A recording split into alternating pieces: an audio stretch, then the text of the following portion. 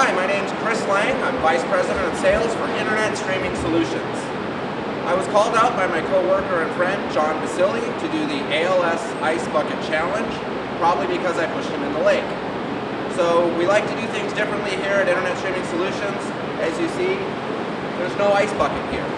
So I accept the challenge and I'm ready and we will also donate to ALS.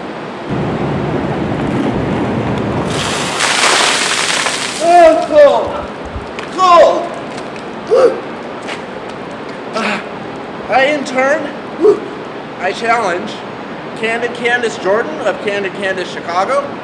I challenge Max Hayat of Livestream, and I challenge Jim Plant of New Tech.